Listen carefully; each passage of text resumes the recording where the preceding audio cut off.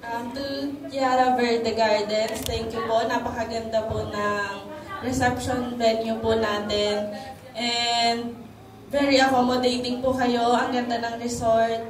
Um, pati po ng mga staff ninyo, um, grabe po maka-assist sa amin.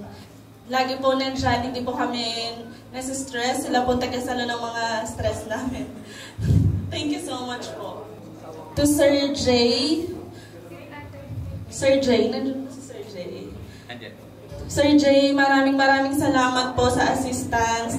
Um, lagi po kayong nakasupport sa amin. Kapag may mga questions po ako, lagi kayong may sagot, may nakahanda kayong sagot. Kapag ka may kailangan akong gamit, nandyan po agad kayo nagsisend ng link para kung saan ako order. Grabe po yung support niyo sa akin. Hindi po talaga ako nahirapan dahil sa inyo.